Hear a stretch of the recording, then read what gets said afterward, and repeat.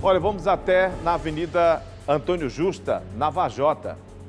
Dois elementos foram baleados por uma dupla de moto. Os homens foram baleados por dois elementos que estavam numa moto. Eles foram socorridos por HGF. Na fuga, os suspeitos dos disparos colidiram de frente com a viatura do 8 Batalhão. Resultado, pronto. Com certeza tem gente esperando assim, rapaz, morreram. Colidiram de frente com a, com a viatura, morreram. Não. Vamos ver aqui o resultado, me dá a imagem. Estamos entrando aqui na rua Antônio Justa, num bairro nobre, Vajota, mas hoje não tem a pandemia da bala. A pandemia da bala tomou conta de todo o estado do Ceará. Nós sabemos isso. É, vejam só, senhores, o que aconteceu aqui. Um rapaz, Marcelo, de 28 anos de idade, e seu cunhado, eles vendem churrasco aqui, ó.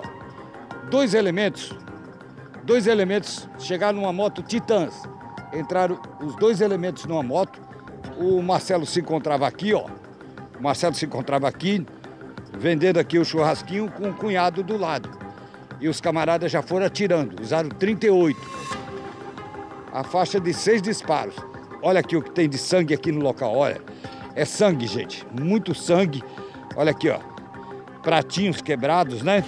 Pratinhos de servir o, a, a servir os, os pratinhos que ele vendia também, né? Junto com o churrasquinho. E foram muitos tiros. Eles foram socorridos por meios próprios, viu, gente? Em um carro particular, não aguardaram ambulância, não. O Marcelo saiu daqui ferido gravemente, gravemente. O cunhado dele foi menos grave.